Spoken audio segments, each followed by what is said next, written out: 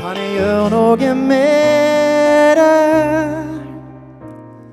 Kan jeg gjøre noe med det?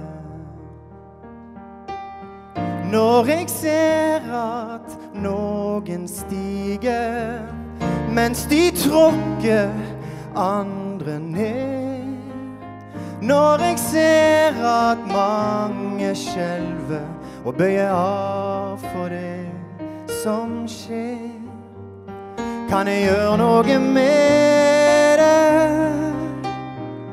Kan jeg gjøre noe med Så på vei hit så spurte jeg hva er egentlig Lerkendal-konferansen. Det spurte jeg en trønder om, og han sa det er Norges svar på Davos. I år har vi kalt konferansen ikke best i verden, men best for verden.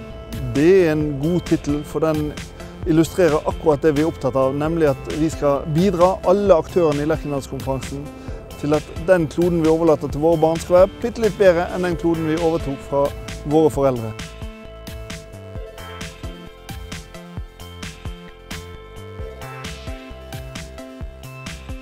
Jeg tenkte det kunne være greit å begynne med å minne om eh, eh, hvordan bærekraftig utvikling er definert. Nemlig at det er en utvikling som ivaretar dagens behov uten å ødelegge mulighetene for kommende generasjoner til å dekke sine behov.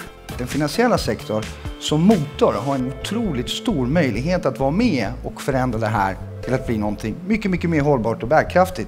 Problemet vi har det at att vi fortfarande har en ganske stor utmaning å mobilisere kapitalet, mobilisere finanssektoren, å jobbe åt rett hold.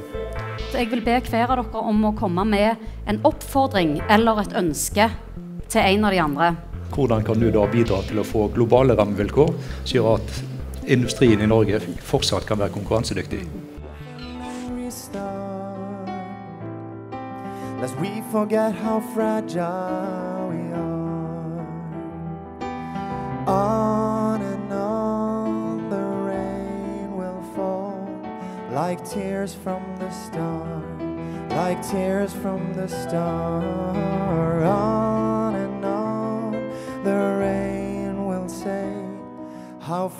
fragile we are, how fragile we are, how fragile we are. Uh, Det som trengs for å komme videre, det er en uh, ny, stor fortelling. Uh, På samme måte som vi etter andre verdenskrig hadde en fortelling om å bygge landet, så trengs det nå et skift. Vi lever ikke lenger i det 20. århundre. Vi har uh, beveget oss videre. Bedriftens skyggeside og bedriftens solside er kjernen i det som vi tenker som bedriftens ansvar.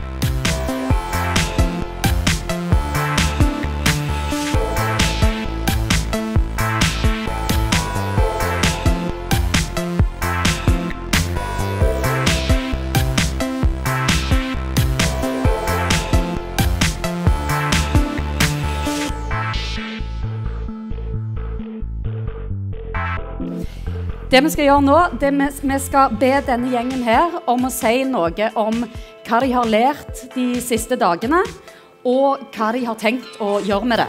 Det vi har lært, det er jo nettopp at også i næringslivet så er det mange som er offensive. Det er mange som har sterk vilje. Man tenker internasjonalt, og ganske grunnleggende er at vi må legge fra oss at kunnskapssamfunnet er et eller annet i framtida. Kunnskapssamfunnet er nå. Men jeg håper på at vi klarer å få til en helhetlig politikk, sånn at vi ser energi, miljø og næringsutvikling i lag. Eh, Mitt klare budskap ville vært at vi skulle prata mindre, handla mer og slutte med eh, floskler og, eh, og innholdsløse ting. Man har spurt om konkrete ting som skal bidra til løsning. Eh, For meg så er jo denne konferansen og dagens tema og måten eh, dette er angrepet på, er jo en del av selve løsningen. Eh, og jeg er helt overbevist om at morgendagens vinnere er de som klarer å kombinere egen lønnsom vekst med å være en del av løsningen på disse store globale utfordringene. Don't be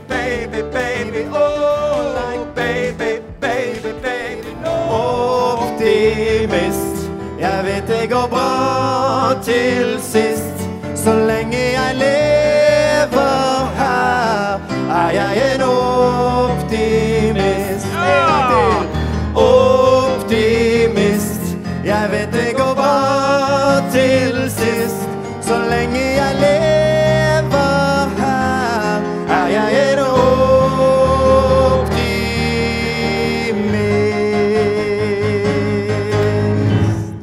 Takk for oss og vel hjem.